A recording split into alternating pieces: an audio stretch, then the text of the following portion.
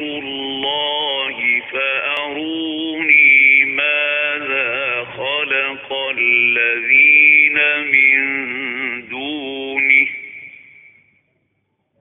بل الظالمين